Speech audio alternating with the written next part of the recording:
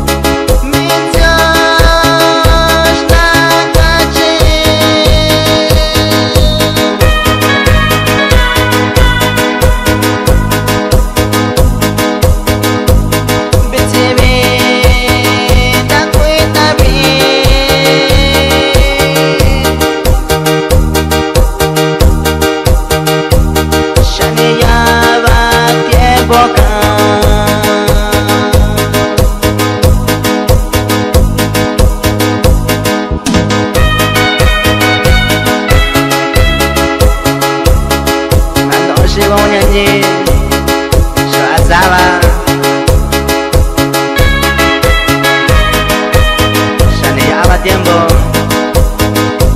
Ya tiempo, anda cristal, bueno, ñañe.